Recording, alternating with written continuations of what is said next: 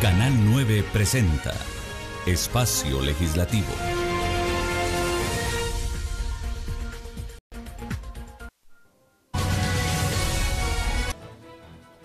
Muy buenas tardes, qué gusto saludarles a través de Canal 9 del Congreso de la República. En pantalla Javier Polanco, un gran equipo técnico de producción. Esperamos que nos acompañe porque en esta emisión de Espacio Legislativo le tenemos lo más importante que acontece en este alto organismo del Estado guatemalteco. Vamos directamente con la información. Acá le compartimos nuestros titulares. Espacio Legislativo. Titulares. Continúa evaluación de expedientes a candidatos para relatores contra la tortura. Proponen aumentar penas de cárcel al delito de extorsión. Buscan alternativas para el cese de la prisión preventiva en el país.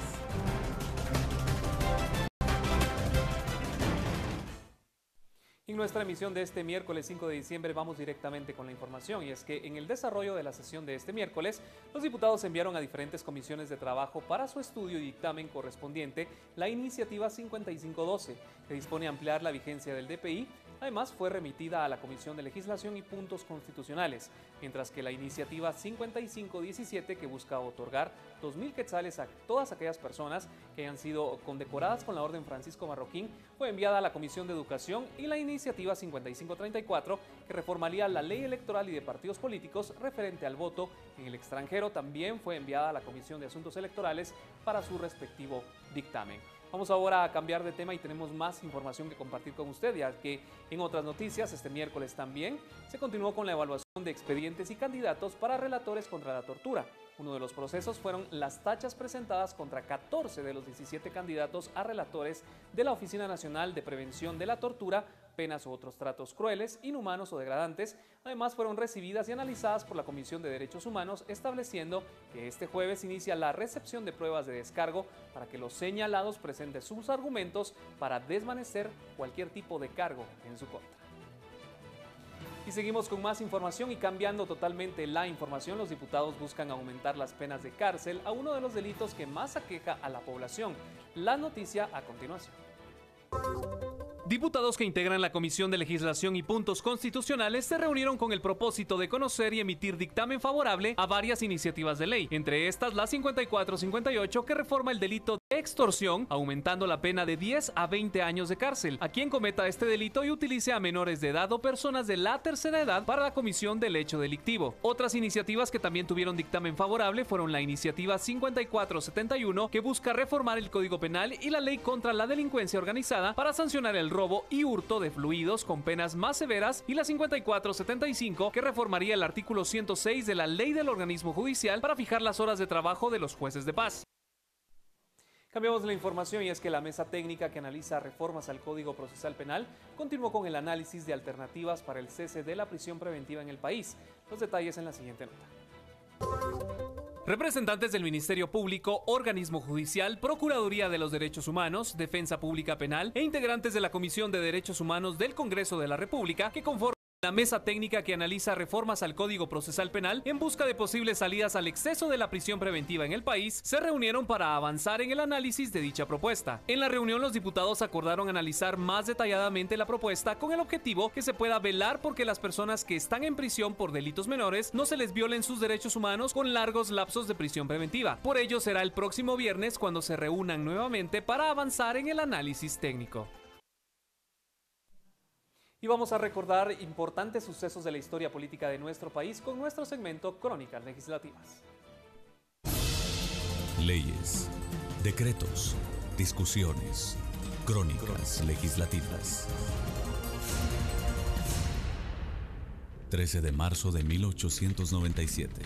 La Iglesia Católica ha sido golpeada por el gobierno liberal expropiándole propiedades y terrenos que pasan a ser del Estado. Pugna ha sido tal que el presidente Manuel Lisandro Varillas ha decretado la expulsión del arzobispo metropolitano de Guatemala, Ricardo Casanova y Estrada.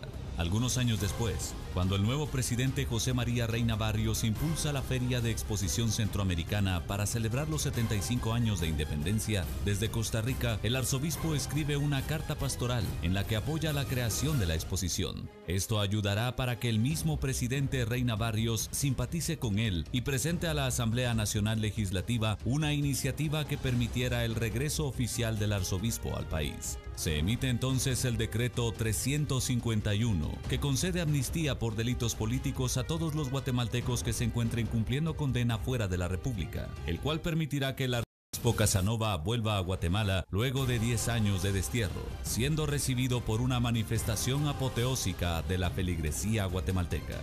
Conozca todas las leyes y decretos del Congreso de la República en www.congreso.gov.gt. Congreso de la República. Gracias a quienes nos siguen también a través de nuestras redes sociales, nuestra transmisión totalmente en vivo a través de nuestra fanpage oficial Organismo Legislativo. Con esto finalizamos nuestro primer bloque de noticias. Tiempo de pausa y cuando regresemos, más información. Espacio Legislativo. En un momento regresamos. Para los que sin poder ver, miran claramente al futuro. Para los que sin poder oír, escuchan su espíritu de lucha y superación. Para los que sin poder caminar, saben ir mucho más lejos en la vida. Para los hombres y mujeres cuyas capacidades son solamente diferentes, hay toda una legislación para honrar sus derechos. Ley de atención a las personas con discapacidad. Convención Interamericana para la eliminación de todas las formas de discriminación contra las personas con discapacidad. Aprobación de la Política Nacional en Discapacidad y Plan de Acción. Reformas a la Ley de Derechos de Autor y Derechos Conexos. Decreto 21-2018 que permite la reproducción impresa en sistema braille. En este mes, conmemoramos el Día Internacional de las Personas con Discapacidad. Congreso de la República.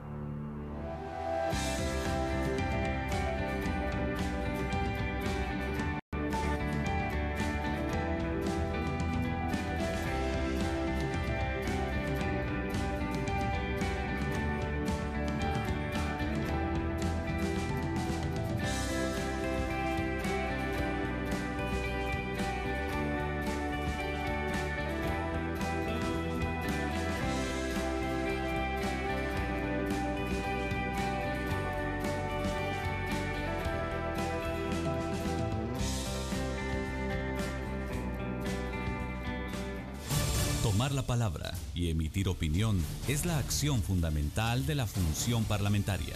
Por eso, tome la palabra y opine. Ahora marque 2297-9300, el nuevo número telefónico del Congreso de la República.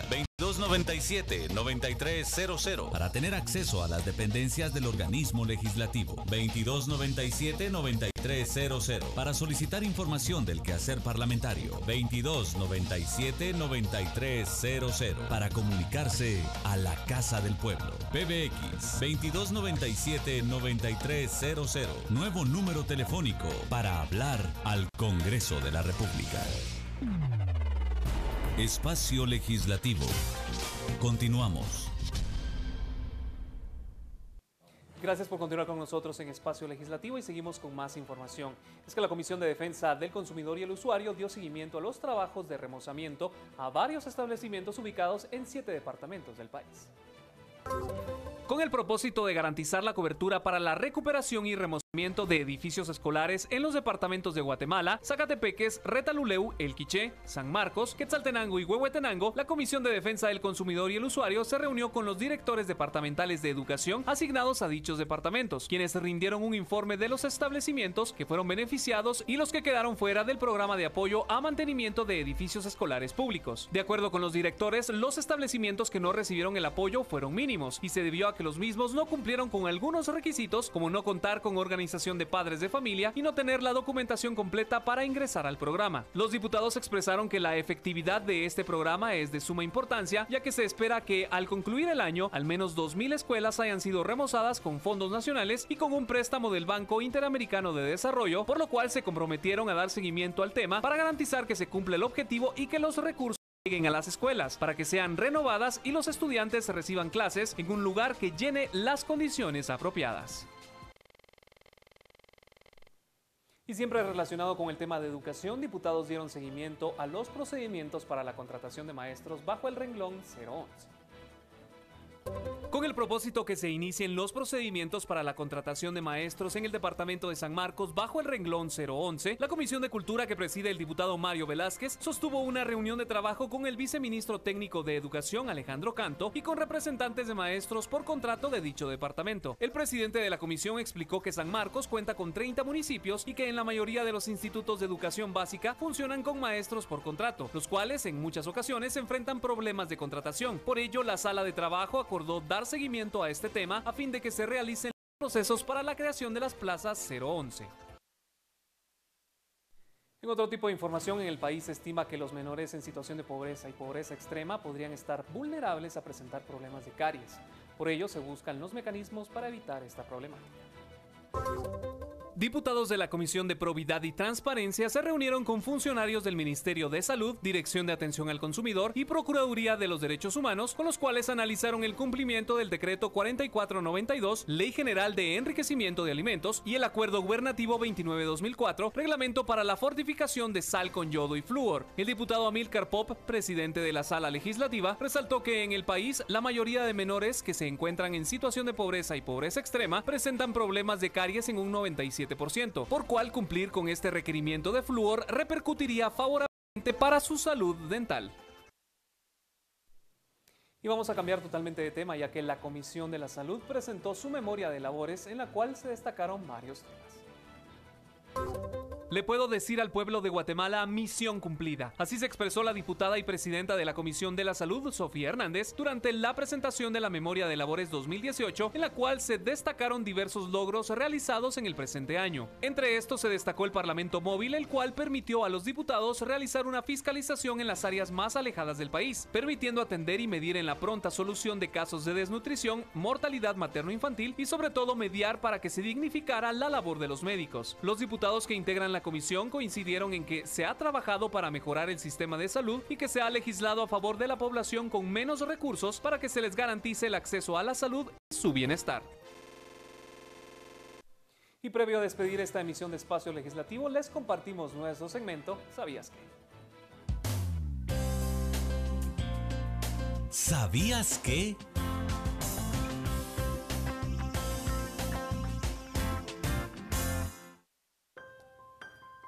Las comisiones extraordinarias o específicas, a diferencia de las comisiones ordinarias, son creadas por una situación o fin específicos para tratar un tema determinado de trascendencia nacional y tienen una duración limitada en el tiempo.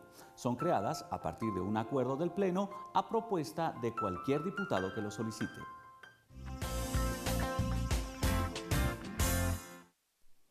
Muchas gracias por acompañarnos en nuestra emisión de Espacio Legislativo. También como parte de la responsabilidad del Congreso de la República de informar a todos los guatemaltecos, agradecemos la participación de Glendy Donado de la Asociación de Sordos de Guatemala, quien nos acompañó para que también los guatemaltecos que no pueden escuchar puedan informarse de lo que pasa en este ente de Estado. También le recordamos que a través de la página de internet www.congreso.gov.gt usted puede encontrar esta y otras noticias. Y también nos puede seguir en nuestras redes sociales, transmisiones totalmente en vivo a través de nuestra fanpage oficial, organismo legislativo, y también nos puede seguir en Radio Congreso Guatemala, la aplicación Tuning, también en Twitter e Instagram como Congreso Guatemala. Un gran equipo técnico y de producción les agradecemos. En pantalla Javier Polanco, una excelente tarde y nos esperamos el día viernes en punto de las 4. Feliz tarde.